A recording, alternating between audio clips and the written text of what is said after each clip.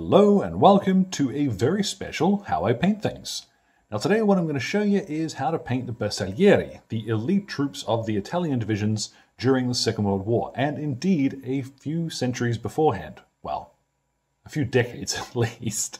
Uh, the history of the Bersaglieri is actually really interesting because they came about from a land which didn't have a lot of room where cavalry was going to make a lot of sense. So instead, they cooked up this idea of sharpshooters, you know, real marksmen, who were incredibly physically fit and basically replaced cavalry. Uh, it's it's nuts. Really interesting read, and I'll pop a couple of links in the description so you can follow along with that too. Now, this miniature was very kindly sent along from Warlord Games for me to have a play with and see what I would come up with. And I think the core of it is very similar to the uh, Italian painting guide I've already done. But there are one or two little tweaks, changes in technique that I've either learned or might think look a little better on these guys. So I am going to speed through some of these uh, steps, but for the most part, it'll all be included here. As well, all of the paints will be listed in the description as always. So let's get started. In the previous video I did on painting Italians, I talked a little bit about grigio verde, which is literally grey-green. And each of the colors that I've got in front of me here, we're going to use today because it was quite similar. Once it had got a little bit of sun and battlefield conditions on it to German field grey. We are going to paint it very slightly differently to how we would Germans, which will give us a different finish, but the basis of it is going to be very similar. So I have here Vallejo's German field grey. On the end here, I've got field grey from the army painter, and in the middle, this is technically an army painter paint, but the Warlord Games Rapid Deployment range you can get directly from them. And this German Army Field Grey, it's a wonderful color. So I thoroughly recommend picking it up. Uh, if you don't want to go to Warlord, you could substitute this for something like Green Grey, uh, 886 from Vallejo, but that's up to you. I'm going to use these three because I know they work. They're not too difficult to get your hands on. Now, since I have already covered painting Italians in that other video, I'm going to skip through some of these quite quickly. So we'll start off with tanned flesh to paint in his skin. You'll probably need a couple of coats of this over your primer. Now I am using Vallejo's light grey primer instead of uniform grey today, but honestly it's because it's what I had in my hand when I went outside. Then we're going to paint in his trousers with the Warlord German Army Field Grey. Now, the trousers generally were washed more commonly than the rest of the uniform, so they tended to fade slightly more quickly than the tunics would. But there's nothing stopping you from painting the entire uniform in this colour if you want them to look as though they've been in the field for a while. I've actually got three, three different colour uh, versions that I can show you later on that I've been painting up, uh, just to give you an idea of how much variety there can be in these uniforms. So don't feel as though you're stuck painting them just one way. Now for a solid base coat on that, you are going to need to apply two coats, but remember if you're painting 5 or 10 guys at a time, it's not going to take you much extra. What I've got next, this is German uniform, and this is the nice grey-green colour, which is going to form the basis of our spanky, nice, clean grigio verde. Now at the moment, that's not going to look very good at all, trust me, I know. Now on the back here, you'll see that I've tried to avoid painting in the cross belts because I'm going to paint them quite a light color later on. Don't worry too much if you do hit them, but if you can avoid them for now, it'll make that little bit of work easier later. For the stuff that's going to be black, uh, don't worry if you hit it, that will cover perfectly. Now to shift up the color a little and to give us a bit of texture, we're going to dry brush all of the uniform. Now, previously I would have used a much lighter grey here, but I've discovered, and this is one of the few changes I'd make, that using here stone grey instead, because uh, we're going to use that for highlighting later, if we dry brush it now, we get a nicer transition of colour. The stone grey is wonderful because it's not, it's not quite green, it's not quite brown, it takes on a lot of the characteristics of the paint you're applying it over. So, just adding a bit of texture here giving us sort of a proto highlight, and this can go over the trousers as well. Now at this stage, that will look dreadful, but as always, keep the faith. We are still going to need a light grey, and honestly any light grey will do the job here, but I'm using Administratum grey to get in and paint in his collar. just go straight over the top of the tie as well. And now we can start painting in some of the other details of his uniform. What I've got, this is the Army Painter's Field Grey, so the lightest of the ones that we've got. I'm going to paint in his uh, puttees with this. And I'm also going to give his water bottle a quick coat. And then with Vallejo Game Color Khaki, we're going to paint in his uh, gas mask bag. And this is also the correct color for the uh, respirator bag, the later model. And with this as well, we'll also paint in these cross belts. So you probably want to use a smaller brush for this. Uh, but if your brush holds a tip, you can normally paint quite quickly without worrying too much. And here, all of the black parts of the uniform will apply some German grey. Now this is just off black, but will work really well once it's shaded to give us a little bit of depth. So his boots, his belt, all that sort of stuff. Cruise in now, and a quick coat of this will do the job. And if he's properly dressed, don't forget his tie. Now, this stage I actually should have done before the German grey that I've just applied. But what I'm going to do is paint in his rifle, or his carbine rather, and any other wooden details on the miniature with some beige brown. I should have done this beforehand because then I would cover over the black bits with that German grey. So I'm going to finish this off and tidy that up off screen. The trouble with there being so many Italian weapons in World War II is that remembering which bits are what colour is a real pain in the neck. Anyhow, with some German camo black-brown, I'm going to paint in the strap on his weapon here. I was going to call it a rifle and then held my tongue. And also the strap up here on his helmet. When it comes to the helmets, I have seen a profusion of shades of green uh, both in originals and museum pieces, reproductions and the like. So what I'm going to use today is the last of our field grey colours. This is German field grey from Vallejo. Uh, I've seen much darker, I've also seen one or two lighter colours, but field grey is pretty close to one of the museum pieces I've seen. So let's go with that. Now the final colour that we'll apply before our first shade is going to be on his grenade. Now I'm using here flat red from Vallejo. Uh, these little things were pretty fiercely red. So let's cover this dude in. Now accepting the feathers, that is all of our base coats applied. But I need to talk to you very briefly about these monstrosities. So on the left here I've got the old Agrax Earthshade and here is the new stuff. Allegedly, they're the same color, and if you apply them over a white primer to demonstrate that on YouTube, they will look the same color. That's all well and good. That is correct.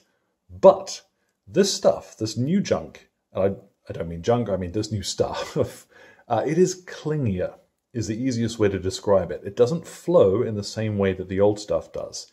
It has a little more of the contrast sort of gloopiness to it. It'll still flow into recesses, but not as quickly and as easily as the old stuff would. So what you end up with is a darker stain on flat surfaces not what you're probably going to want. So while they are the same color, applying them exactly the same as you would have done previously is going to give you a very different result. It's going to look much darker. So what I'd suggest, if you've got the new stuff, you want to thin this about 50-50 with Lahmian medium, which is what I used to do with this stuff anyway. Uh, but if you do it to the new Agrax Earthshade, you'll get the same finish because the medium is really the important part. So thin it out half and half. I've got my little pottle here mixed up already. This is what we're going to use. One of the other benefits of adding in the medium to this is that it's then difficult to really apply too much. We're just going to bucket this over the entire miniature. And as always, make sure that you are getting it into the recesses. You don't want anywhere left glowing from your uh, primer. But yeah, once this is applied, this is going to bring all of this together and it will look much more natural. So once you've got a layer of this down, leave it for about half an hour somewhere sunny. Make sure it's thoroughly dry before we carry on painting, and let's get a look at what we have then. Now doesn't that look nicer? I'm always stunned by how much of a difference the shade will actually make, even when we've thinned it down. If you don't want to use Agrax Earthshade and you want to stick to something that hasn't changed, then I'd suggest Strong Tone from the Army Painter. Uh, but you do still want to thin that down with some of their quick shade mixing medium. What I'm going to do now is just a few highlights. And I'm going to use stone grey on both the jacket and the trousers. Um, I don't need to do very much of this because our dry brush will have taken care of most of the highlighting for us. But areas where we want a nice sharp edge, like up on his collar and his uh, sleeves here, I can do that now with some of this. And same too on the trousers. Then with some Iraqi sand, we'll highlight the uh, khaki stuff we painted earlier. Then to highlight any of the black stuff that you fancy, Basalt Grey is a nice medium tone grey, which has a little bit of blue to it. So it works quite well as our highlight here. Now with some Cadian flesh tone, I'm going to go over most of the skin, leaving just a little bit of our shaded tanned flesh in the recesses. And then for the highlight here, I'm going to use Vallejo flat flesh. You could use Kislev flesh instead if you prefer, or if you've just got it, but in the grand tradition of painting skin differently in every video I do, let's use this here. You'll see in the background here, I daubed a little bit of the brown and the red together just to paint on his tongue. Um, you can paint that bottom row looking like teeth, but I tend to think it looks more like he's going er than ah as a result. uh, but what I've got now is some ivory, and I'm going to paint in the top row of his teeth. I might very well do this off camera if I can't. Now I've got here, this is Vallejo Model Air gunmetal, but any dark gunmetal color you like is going to work just fine in its place. Um, I also really like Iron Warriors from Citadel, um, the paint that is, not the Chaos Space Marine Legion, but just a few dabs of this to make your metal look, well, metallic is going to be really cool. Now to highlight the edge of the helmet, what I've got here, this is the Army Painter Field Grey from earlier. Just a little bit of this at the edges. Now we're finally at the stage which you're probably here for, and we're going to paint in the feathers. Now we're leaving this to last because, honestly, it's the easiest step to finish off as a final stage. Now these feathers in reality, if you've ever seen a black bird up close, you know, that glossy black, it's never just black. It's always got a bit of shiny blue, some green in there, and these are no different. So we're going to try to recreate that in miniature without it looking really garish. So I'm starting off here with black grey. Uh, you could just as well use the German grey we've used earlier. It's up to you. But a quick coat of this to lay down the base colour for the feathers. Now to try and simulate some of that colour shifting blue and green, what I have here, this is Blue Grey Pale from Vallejo, and it's a pale blue-grey. What we'll do is just a few little tiny blips on the feathers. Uh, you want to be fairly sparing with this, because you'll, you'll, see it's uh, really quite bright as it goes on. Now if you're worried about painting straight lines, just get in and instead little dibbly dibbly dibbly dibbly dibblies on the edges will look a little more natural than actually perfect straight lines. So, however you want to do this, go for it. Now you'll see what I've got is quite rough little scratchy edges. We're trying to recreate the texture of the feathers here. Uh, it is a little more time consuming than doing it, I mean, just smashing a dry brush on there. You could try that too, but I do want these guys to look quite nice. And I figure you're not painting so many of them that a little bit of extra work won't make the difference. What I'm turning to now, this is Coelia Green Shade from Citadel, and it's one that I don't use very often, but I'm always really glad to have it when I need it. Uh, you could mix in a little blue and green ink together, uh, but this is just straight from the pot. It's really easy to use. So you'll see it gives us a funky green-blue shade in the recesses as it dries. And it also ties together our little flicky flicky flickies from earlier. Yeah, I really like how this works. And then what you'll see is we've got that greeny blue in the recesses, a little bluer at the tips, but it doesn't look just flat black. So what I've got is the blue-grey pale again, and I'm just going to dibble, very scientifically, dibble uh, at some of the tips of the feathers again to lighten them up and get back some more of the blue because that uh, Coelia green shade will go kind of turquoise.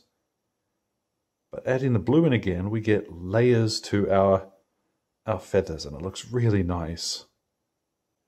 And like I said, that is a little fussier than it needs to be, but man, it's going to look so much cooler when it's done. They are really going to stand out on the table. So that's the painting done. What I'm going to do now is hit him with a matte varnish, and I'm then going to apply a base to him. Let's get a look at what he looks like when he is all finished. But just before we get to the spinny thing, let me show you the color comparison that I was talking about earlier. So, from left to right.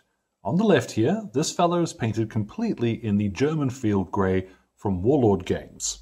This fellow's jacket is the German uniform from Vallejo, so that darker green that we've used today, and German field grey trousers. These two dudes are painted using essentially the same methods.